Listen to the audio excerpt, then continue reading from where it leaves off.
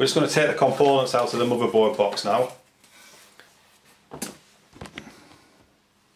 That's got the drivers on it, which we'll need later. That's the manual. Now I, actually took this manual out of there last night and I read it.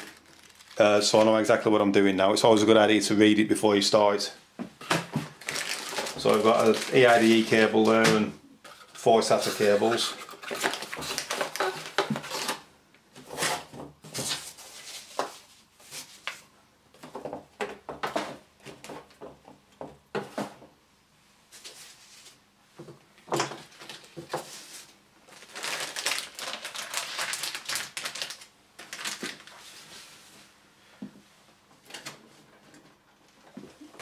And then this is the processor that we're going to be using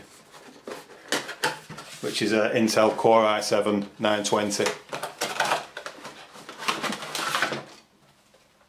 so we can just get all that ready.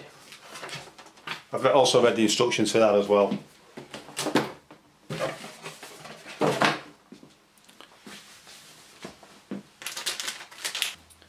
Before I remove the motherboard from the anti-static bag, I'm going to put the anti-static wristband on. So that just slips over your wrist and then that plugs into an electrical socket. So we can just remove this now.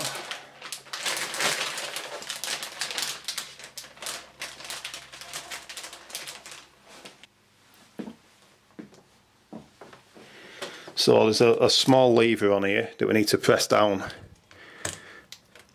and then lift up and then we can pull that plate up and we can remove that piece.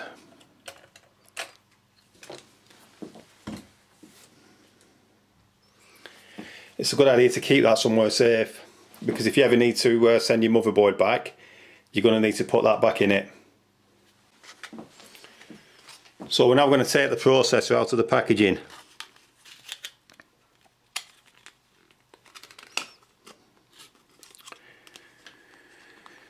And grip it at the sides. What you don't want to do is grip it underneath because you don't want to touch any of the uh, electrical contacts.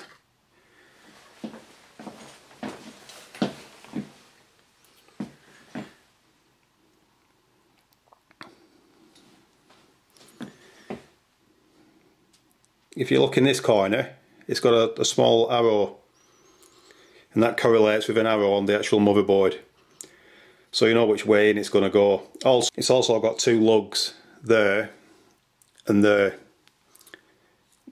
which fit into the lug, the lug slots there on the CPU slot so it's virtually impossible to put it in the wrong way around.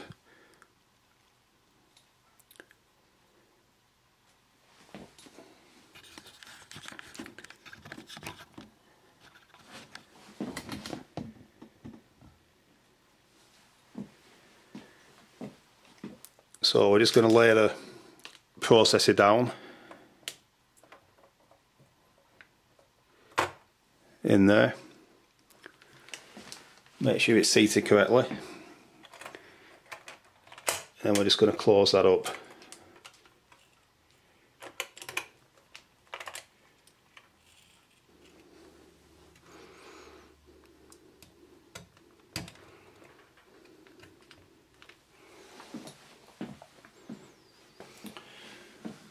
The heatsink on this particular model already has heatsink paste applied to it so you don't actually need to apply anymore. So all we need to do is place this on the processor and then lock it in position using these four pins and then plug in the power to it.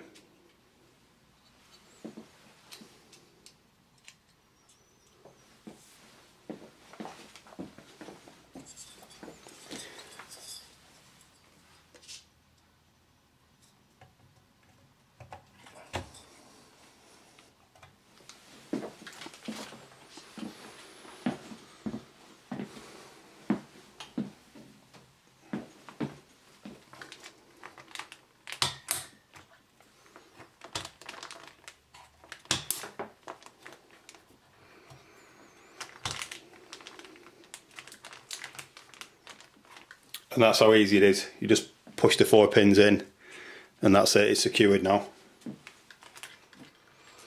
if you ever need to get those out again, there is an arrow on showing you which way to turn it, and if you do turn them, it will come loose again. You can pull it back off.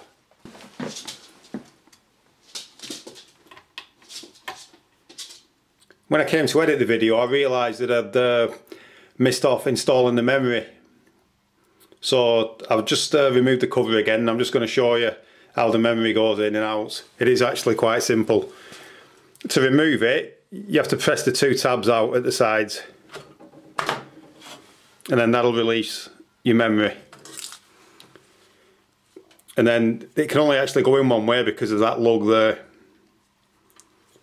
So it will only go in one way. So you just line it up with the slots and then just push it straight down. And then just press, make sure the tabs are in at the end. So that's most of the things done now on the motherboard. So we're just going to move that back out of the way for a short while whilst we open the graphics card.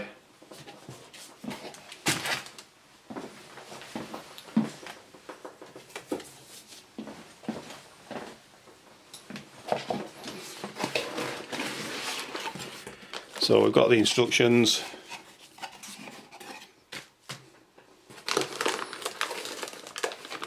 And then the graphics card. And there's also a couple of uh, adapters in there if we need them. And also the, the drivers that we'll need later on. So really we only really need that piece. To fit your graphics card you need to find a spare slot. So obviously this is a, a new build, we've got plenty, we've got two, so we're going to choose that one. So we're just going to slot it in there.